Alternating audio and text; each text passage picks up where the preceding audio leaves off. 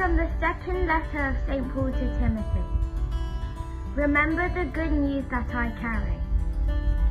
Jesus Christ risen from the dead, sprung from the race of David.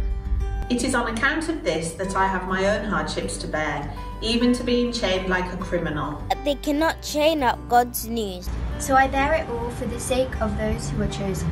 So that in the end they may have the salvation that is in Christ Jesus and the eternal glory that comes with it. Here is a saying that you can rely on. If we have died with him, then we shall live with him. If we hold firm, then we shall reign with him.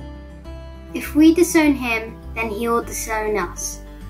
We may be unfaithful, but he is always faithful, for he cannot disown his own self.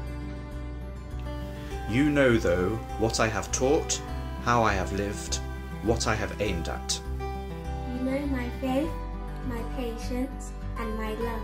My constancy and the persecutions and hardships that came to me in places like Antioch, Iconium, and Lystra. All the persecutions I have endured. And the Lord has rescued me from every one of them. You are well aware, then, that anybody who tries to live in devotion to Christ is certain to be attacked. The word of the Lord. Thanks be to God.